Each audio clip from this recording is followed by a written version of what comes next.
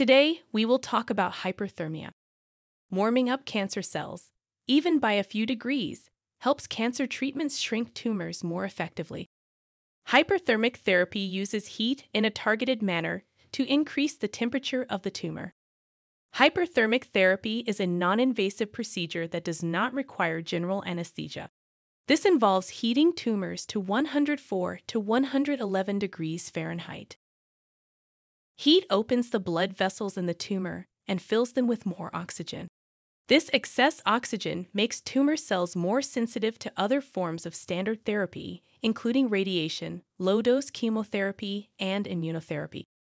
In addition, the heat has been shown to boost patients' immune systems, which can help them better fight cancer. Hyperthermic therapy can also be an important treatment for tumors that occur in areas that have previously been treated with radiotherapy. Hyperthermia is often used in combination with anti cancer treatments. Hyperthermia tends to heat tumors to feverish temperatures that destroy the surface of the tumor. While this is happening, the immune system stops the cancer cells from growing. Studies have shown that hyperthermia helps deliver anti cancer drugs to the treated area.